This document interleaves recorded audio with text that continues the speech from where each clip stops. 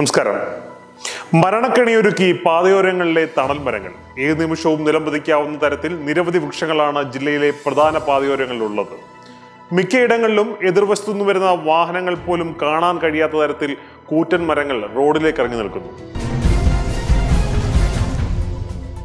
മിക്കയിടങ്ങളിലും എതിർവശത്തു നിന്നും വരുന്ന വാഹനങ്ങൾ പോലും കാണാൻ കഴിയാത്ത തരത്തിൽ കൂറ്റൻ മരങ്ങൾ റോഡിലേക്ക് ഇറങ്ങി നിൽക്കുന്നു. അടൂർ പത്തനാപുരം റോഡിൽ മാരൂർ തോട്ടപ്പാലം പുതുവൽ ശാലോംപുരം പന്തളം കൈപ്പട്ടൂർ മേഖലകളിലാണ് അപകട ഭീഷണിയായി മരങ്ങൾ നിൽക്കുന്നത്. വർഷങ്ങൾ പഴക്കം ചെന്ന ഭൂരിഭാഗം മരങ്ങളും ദേശാടന കിളികളുടെ വിസർജ്യം വീണ് ഉണങ്ങിയ നിലയിലാണ്. ഇതുകൂടാതെ വൻമരങ്ങളിൽ പലതിലെയും ശിഖരങ്ങൾ കേടുവന്ന് നശിച്ചതോടെ ഒടിഞ്ഞു വീഴാറായ അവസ്ഥയിലും. വഴിയോര തണൽമര പദ്ധതി പ്രകാരം വർഷങ്ങൾക്ക് മുമ്പ് പൊതുമരാമത്ത് വകുപ്പും വനംവകുപ്പും ചേർന്നാണ് മരങ്ങൾ വെച്ചു പിടിപ്പിച്ചത് എന്നാൽ പടർന്ന് പന്തലിച്ചു നിൽക്കുന്ന മരങ്ങൾ പലപ്പോഴും യാത്രക്കാർക്കും പ്രദേശവാസികൾക്കും അപകടമാണ് വരുത്തിവെക്കുന്നത്.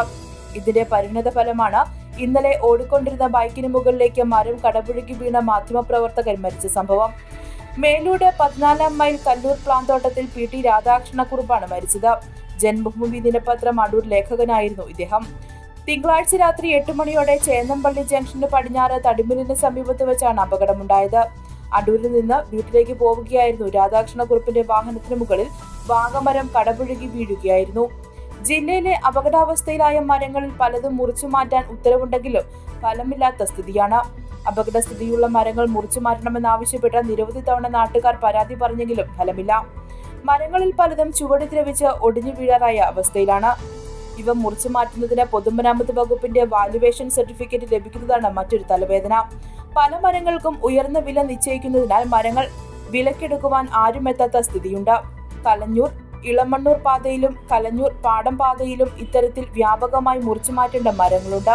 ഏത് നിമിഷവും അപകടത്തിന് കാരണമായേക്കാവുന്ന ഇത്തരം വൃക്ഷങ്ങൾ മുറിച്ചു മാറ്റുവാൻ അധികൃതർ തയ്യാറായില്ലെങ്കിൽ വലിയ ദുരന്തമുണ്ടാകാൻ ഇനിയും സാധ്യതകൾ ഏറെയാണ്.